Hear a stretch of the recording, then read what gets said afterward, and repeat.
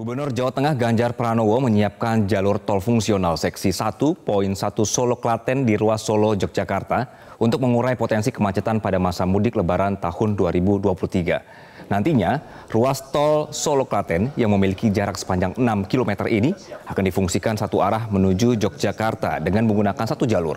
Selain itu, kendaraan yang melintas juga dikhususkan untuk kendaraan golongan satu. Jalur fungsional ini rencananya, rencananya dibuka pada jam 7 pagi sampai jam 5 sore selama arus mudik dan juga bisa dimanfaatkan sebagai jalur alternatif untuk menghindari potensi kemacetan.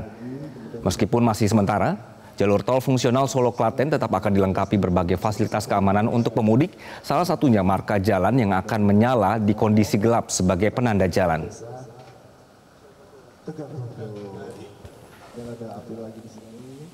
Memang jalurnya masih sementara, maka kepada para pemudik yang nanti melewati jalur-jalur yang belum beres, yang sifatnya masih fungsional, kalau nanti istirahat, jangan dipaksakan karena nanti rambu-rambunya juga sementara. Tilo-tilo namanya, tolo-tolo. Nanti akan ada tolo-tolo itu apa rambu sementara, mungkin beberapa kun akan dipasang. Eh, tolong perhatikan itu eh, dengan baik agar perjalanannya bisa lancar.